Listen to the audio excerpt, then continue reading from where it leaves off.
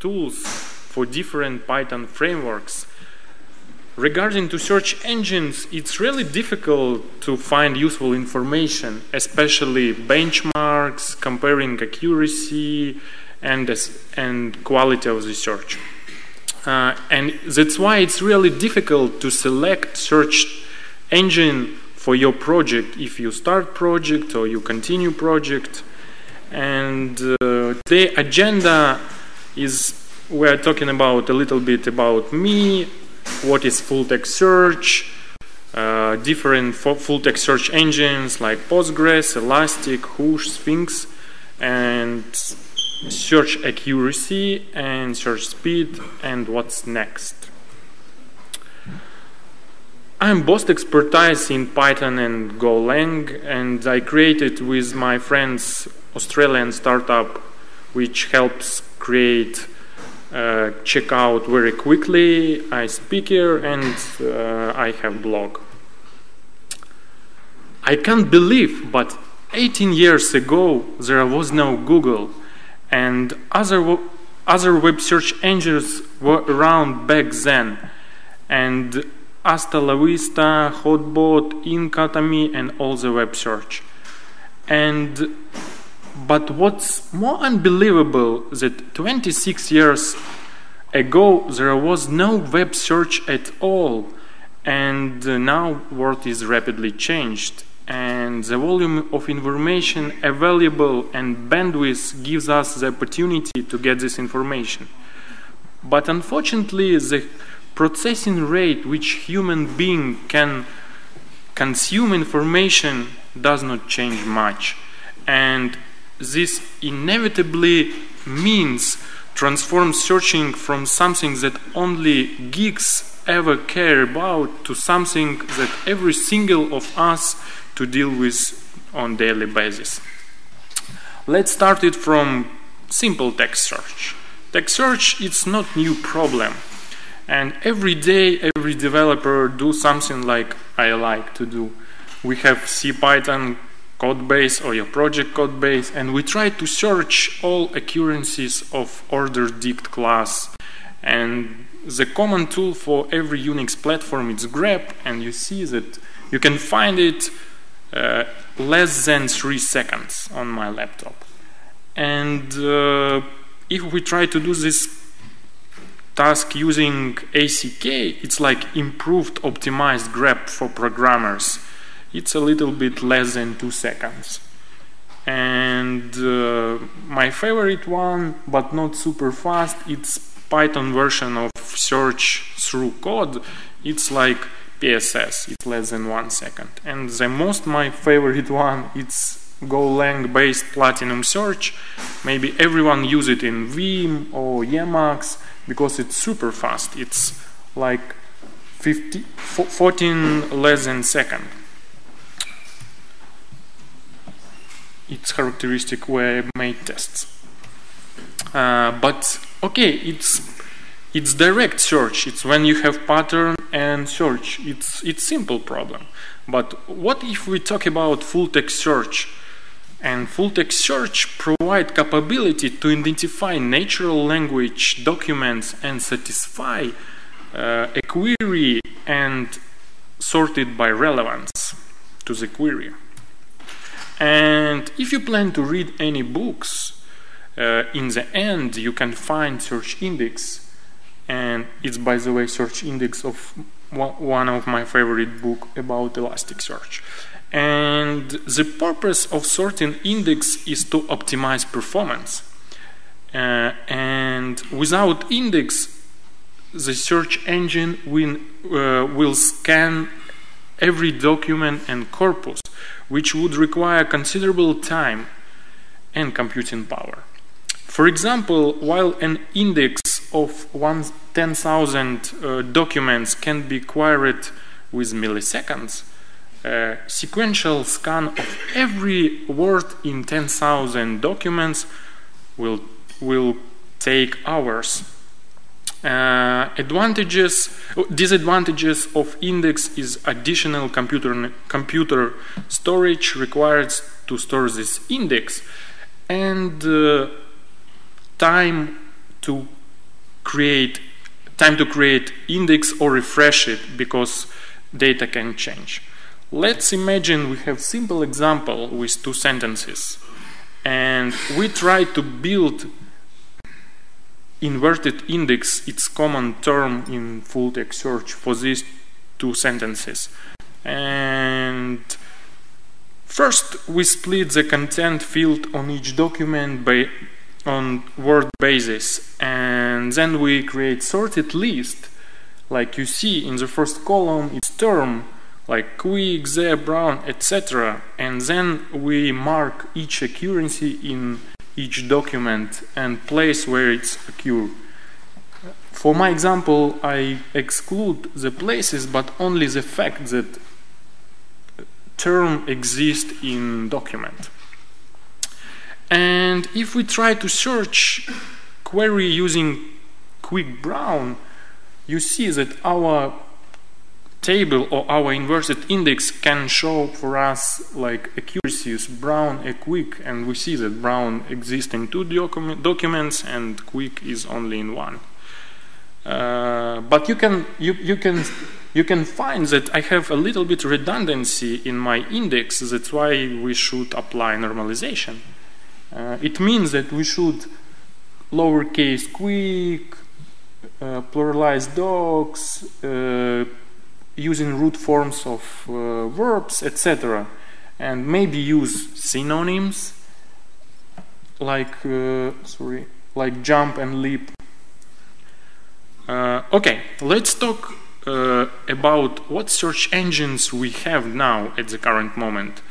There are lots of different types of search engines, uh, but today we will talk about only four of these. It's Postgres full text search, Elasticsearch, Python search, Whoosh, and Sphinx. Uh, let's start from Postgres full text search. Everybody use Postgres. It was created by Michael Stonebraker for eight years in 1986.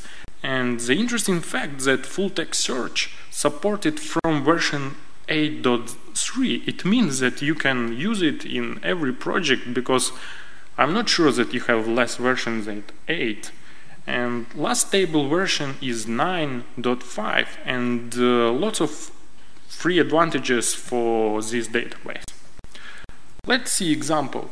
We have simple query uh, and simple text and we try to full text search through this query.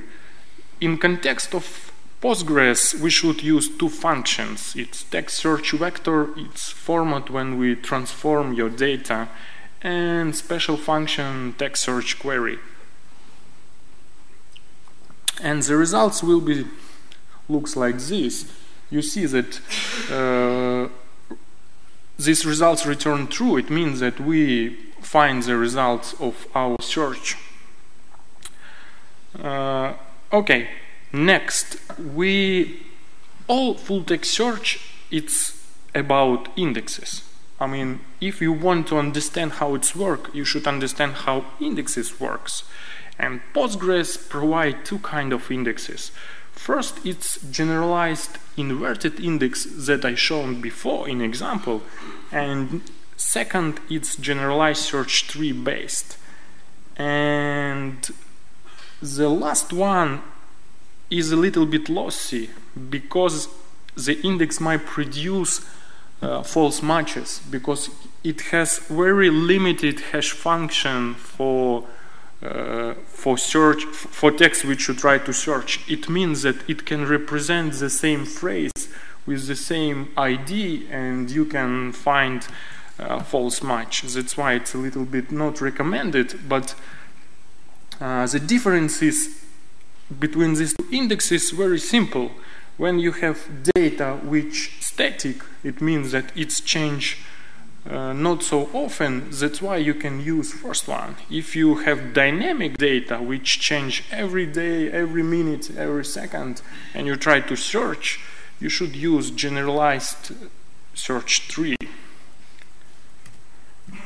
Next, important it's ranking search results. It's how to measure how relevant documents are to particular query. So when there are many matches, the most relevant ones can be shown first. Sometimes it's very useful. And uh, Postgres provide two C-based functions. It's rank and rank cover density, something like it. And, and uh, you can cover density, and you can uh, you can use it. And I have some small example for you how to use it. Uh, it's next uh, after this slide. Uh, last but not least, it's highlighting results. Every user wants to see what he search and see what occurrences of what he tried to search. And for this, Postgres provide headline function, which uh, very easy. You just uh, use this function, and it will uh, mark uh, your results with some HTML tags or etc. Uh, also, very important, it's stop words. Stop words, it's like English words, for example, which unuseful or uninformative, etc., etc. It's like it, is, etc. And uh, working with stop words also included in settings of Postgres, and when you apply using text search vector function, you can uh, see that text search vector applied to your column, which have some information, and as a result, you see uh, like special format for Postgres where you see only useful information, exclude stop words like list stop word instead of uh, because in there of unnecessary, no need to search using this word in some cases. Uh, next, uh, a little bit about Python.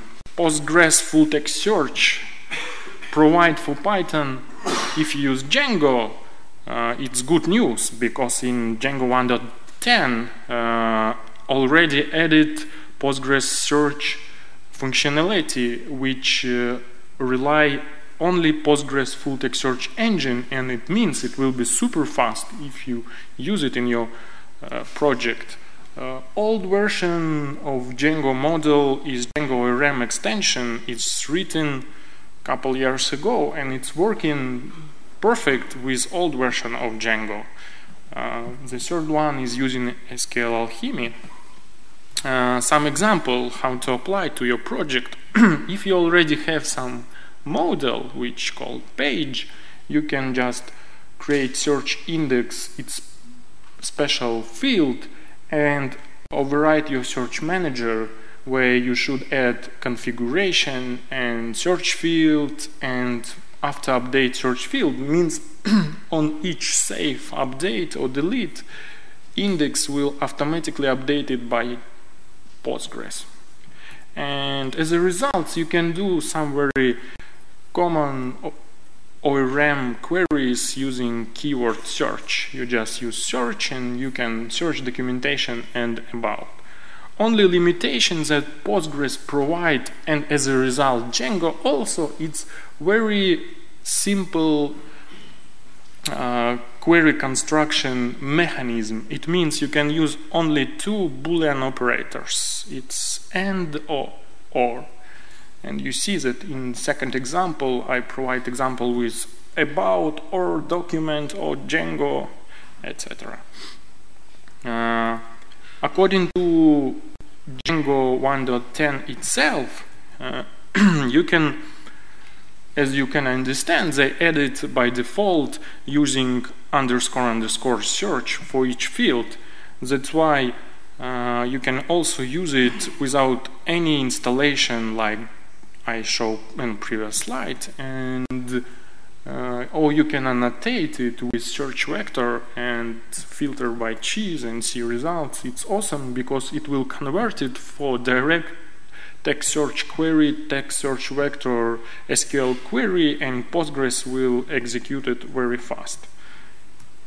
And examples. Uh, yeah, this commit was made by uh, I'm not sure, but couple months ago, it's super fresh information. There is no any documentation about this, only in source code in this commit you can find it. Maybe they will update it, but I'm not sure that it's already done. Okay, let's talk about uh, finish with Postgres full text search. We have pros like quick implementation, you saw it, no dependency, Maybe disadvantages is need manual manage indexes because it's not done automatically. Uh, depend on Postgres. If you use MySQL, it will not work. If you use another database, it will not work. Uh, no analytics data. What I mean about this is this. It means I can't get analytics on search from Postgres. I can only search and that's all. If I want to get some important natural language text data, I can't do it. And very simple query builder. Uh, okay, let's continue with Elasticsearch. Elasticsearch is distributed, scalable, real-time search and analytics engine. It's very important because it enables us to search, analyze, and explore your data. It based on Apache Lucene search index, which now is the most advanced and high performance uh, in the internet. Uh, who use Elasticsearch? It's GitHub use Elasticsearch to query 130 billions of line of code. You every day do it. Stack Overflow use combine full text search with geolocation. Sometimes it's very useful. Uh, Guardian parse logs like lots of companies and Wikipedia try to provide full text search with uh, highlighted uh, data and uh, Datadog, Cloud and other. The idea of Elasticsearch very simple. It's it's not quite e equals, but it's like in parallel you can understand how it works. It's you have relation database, you have Elasticsearch, you have database, you have indices, you have rows, you have types, columns equals documents, tables equals fields. The most important it's maybe locks Elasticsearch use optimistic concurrency control. It means when you try to change document in Elasticsearch, they just uh, update it and update version of this document. And it means when you search for, for, for, for some document, you, it will use the last version of the document. Uh, according to Elasticsearch, there are lots of Python clients. It's default Python client, new version made by Honza Kral with asyncio, and also DSL when you can build your queries if you work with Elastic you know how it's difficult sometimes work with these big JSONs and manipulate with it. It's annoying and Honza create DSL and it looks pretty awesome. Some examples.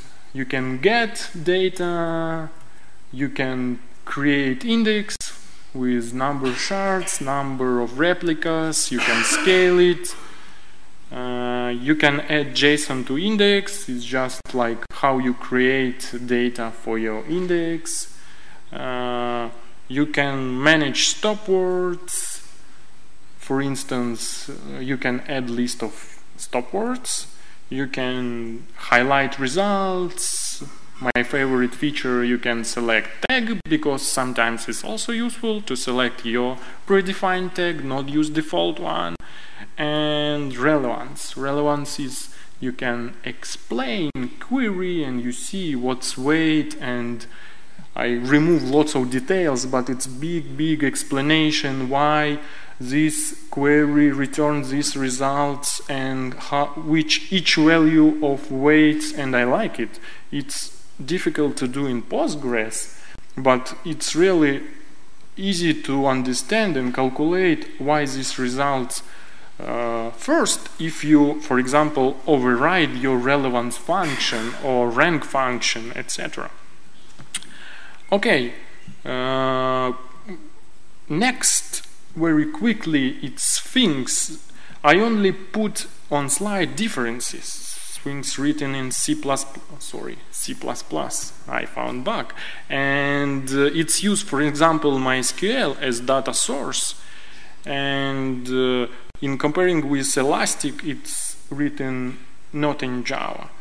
And uh, Sphinx assumes that you already have MySQL database and all other stuff based on MySQL. But it's not like mandatory. You can use Postgres, you can use any provider. And about Sphinx Search Server, a little bit difference is its DB table, it's Sphinx index, DB rows, it's Sphinx documents, and DB columns, it's Sphinx fields and attributes. It's not similar to Postgres and Elasticsearch, maybe sim similar to Elasticsearch. And query language, it's not uh, SQL, it's Sphinx query language, but it's very similar to default SQL. And you can find from your test one its index name, where much you have Python, and it will look something like it. It's, I mean, the, I put only differences. All other stuff very similar to Elastic. Uh, and last but not least, it's pure Python Whoosh, which created by Matt Chaput. His idea was like, okay, my clients ha have no ability to install Java and that's why he created full text search engine in pure Python. And it's not super fast, but in comparing with another pure Python search engines, it's super fast. And it has pluggable scoring algorithms, you can add lots of and configure lots of stuff. And by the way, more information you can find on his talk. I'm not ready to repeat it. And some small examples, Whoosh uh, depends a little bit on Postgres because it uses Postgres, for example, stop words, and it's create frozen set dynamically for Postgres stop words, but you can select any set of stop words. I mean, it's just example from source code. You also can highlight search results, assume that we hit we have hits in title and the most interesting it's it used best match 25 uh, algorithms which it's by the way it's ranking function which used to search engines to rank matching documents according to relevance to given by search query. It's the common use algorithms. And it, it was developed in 1970s I hope. And now I created some comparison table for you because when I started work on my first project with full text search, it was difficult to understand lots of information and how to structure it. That's why I created some table where I can uh, find and you see that Python 3 support most search engines, Sphinx, OpenPR, uh, you have lots of clients, you, you can use this table like reference. Uh, interesting that Postgres and Elastic have both async clients, Sphinx and Whoosh now, and I added Django just for example. If you use Django, sometimes you need uh, some uh, ORMs, etc.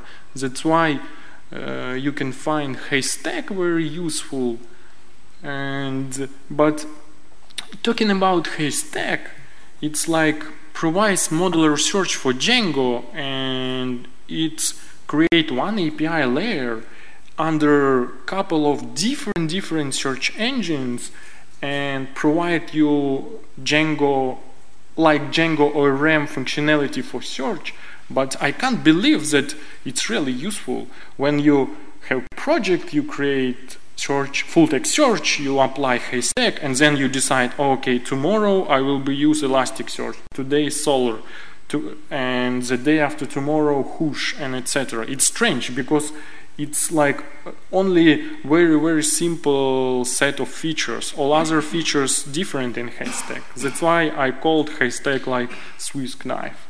And it's useful but uh, not for specific task and uh, i created small pros and cons for you about haystack yeah it's easy to set up looks like django ORM uh, search engine independent support now for engines. Uh, if we go deeper, search query set API very poor. I mean, it's it's very poor. You, you can't uh, create uh, very smart queries. Difficult to manage stop words because you need go to search engine backend and do it by by hand by yourself. Haystack doesn't care about it.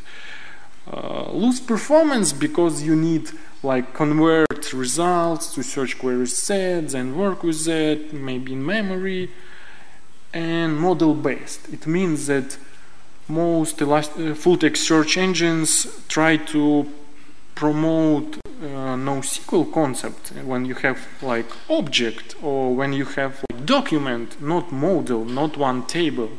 That's why it's a little bit difficult. And uh, the most I think the, the most ugly with Haystack it's lots of hard-coded settings in search engine. If you open source code of Haystack, you can find hard-coded Elasticsearch settings, hard-coded settings for Solr, etc. And it's annoying. If you want to change something, you need to change Haystack or patch it or something like it. Uh, let's continue with my table. Uh, Next, very difficult and interesting things, which index each search engine use. And I put like Elastic use Apache Lucene, you can find more information about it, it's default uh, inverted index. As I said before, Postgres use generalized inverted index and generalized uh, search trees. Uh, Sphinx has Sphinx has three opportunities. It's disk indexes, real-time indexes, and distributed. By the way, distributed index it's just like container for lots of disks and real-time uh, indexes. It's how you can scale your Sphinx.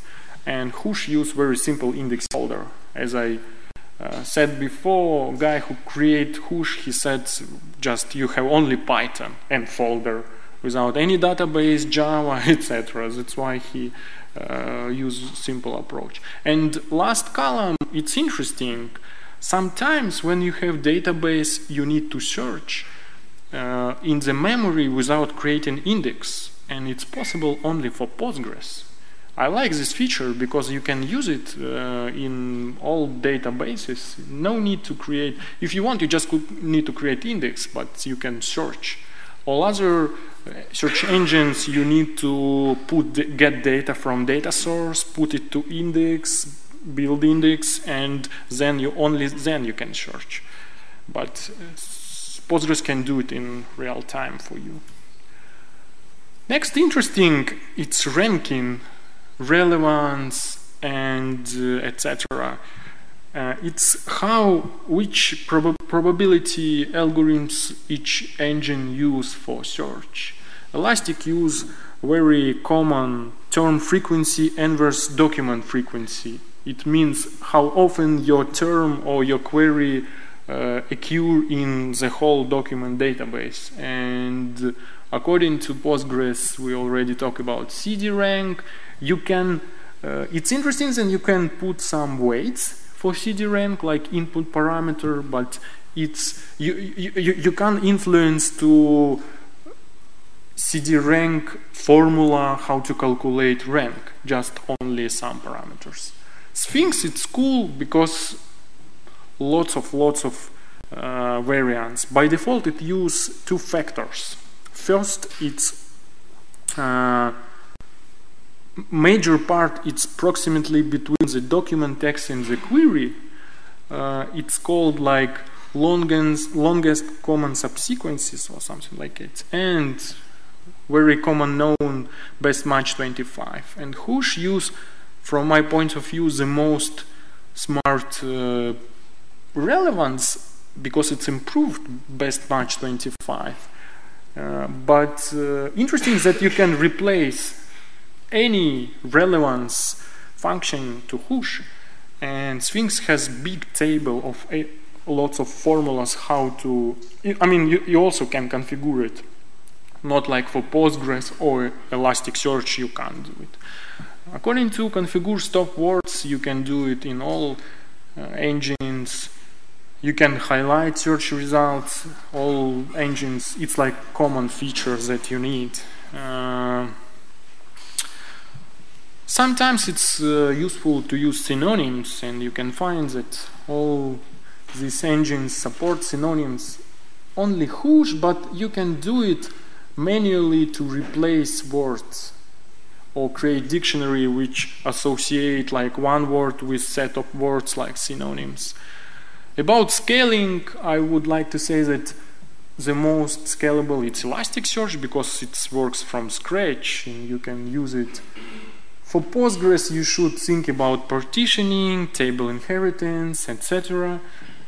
About Sphinx, I already said that it's used distributed searching and you can include lots of indexes in distribute index and it, it's how you can do it manually. Whoosh does not support any scales.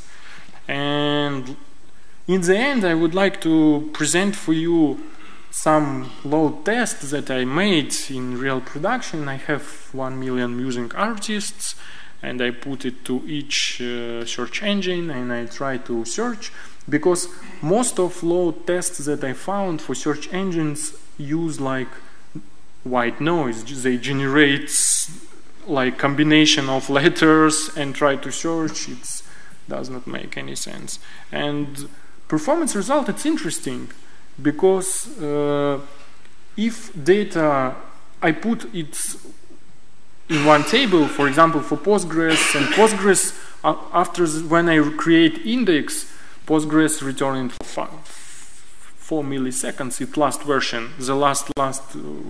Uh, the latest which I found like 9.6 beta or something like it. Elastic return in 9 milliseconds, it's also pretty awesome. Sphinx return in 6 milliseconds, but I'm not sure that I configure it correctly. That's why maybe some results not super useful and Whoosh also has uh, less performance. And the question only if you have more data which not put in, in uh, Postgres. My next test, uh, task for me, I plan to do uh, more smart queries and I have database with 300 million records which I'm not I'm not sure that I can put in one table in Postgres and etc and uh, yeah maybe results will be different. In the end I would like to propose you to read some books which I found very useful for me about Elasticsearch, Lucene if you're interested in strings if you're interested in swings and uh, very cool book about Stonebraker which called Red Book about database systems. Uh, I created some list of references for you because it's really difficult to share with you details of each index and you can find it in uh, some very useful links and read about it because when you stackled and your customer decide okay relevance should work i mean indexing should work that or this you can read about each index and find for you uh, in which case your index will be uh, more efficient. Also about ranking. Ranking is a really difficult part that's why I also put it to links. You, you can read of, about each scoring, how it's calculated, and etc. etc. Because performance uh, will depend on two big uh, factors. First, it's ranking algorithm because you should calculate ranks, and second, it's indexing, how you build your index. And thank you. Slides you can find on this link and uh, thank you for your attention and we're hurrying. And question, please.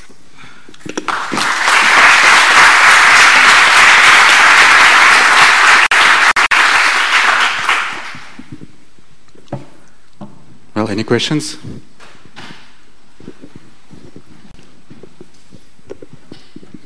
I got a questions about operators uh, in uh, Django full text search.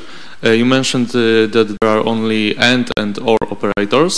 Mm-hmm. Uh, can we combine it?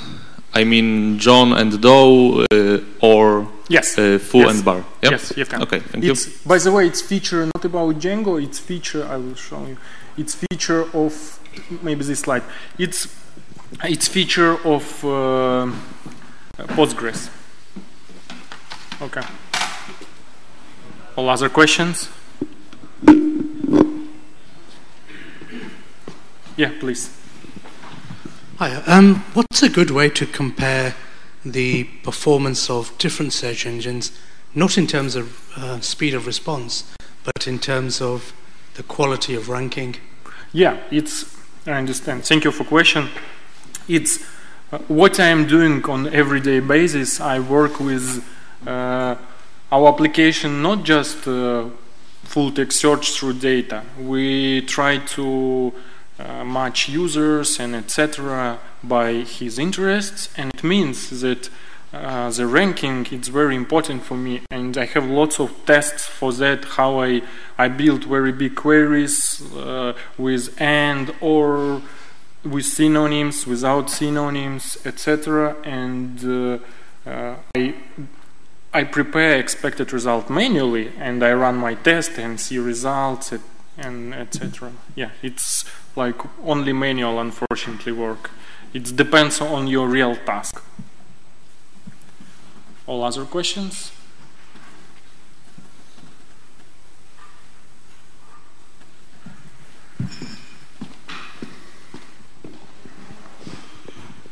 Hi. Um, apart from Haystack, do you have any recommendations from Django and Elasticsearch? Django and Elasticsearch? Yeah, for combining those two. Uh, from my experience, it's like uh, using uh, just Python client. I mean, you can create manage task which uh, uh, will refresh your index if you plan to get data from. uh, I mean, maybe you plan to store your data in Postgres or MySQL and uh, you need like on some action you plan to refresh index and search from elasticsearch uh, i found great solutions that you can just use uh, simple python uh, client elasticsearch dsl or elasticsearch.py which honza Kral maintain mo- mostly and just but only add uh, uh, manage by command to refresh index, create like uh, asynchronous tasks for refresh index, etc. If you plan to use Haystack, you can. I don't remember the name, but uh, I found interesting library which override some settings from Haystack, and you can like add uh, your synonyms, change configurations, etc. And I recommend to use it if you plan to use Haystack. But problem of Haystack that uh, it's not support last version of Elasticsearch, and you you you, you, will stackle on I don't know 1.7.5 or something like it. Yeah. Yeah, please. Is there a reason why you haven't talked a lot about Solr? Could you please repeat? Is there a reason why you haven't talked a lot about the Solr um, search engine, S O L R? Ah, Solr. Uh, I have no experience with Solr, but I hope that it will. Solr also use uh, Lucene, and only difference is that I know Solr is not easy to scale. You can, but it's not so easy. And if you already use Solr, uh, maybe you should continue. But for new projects, I think I found Elastic more like uh, useful for me, something like it. Okay. Thank you very much.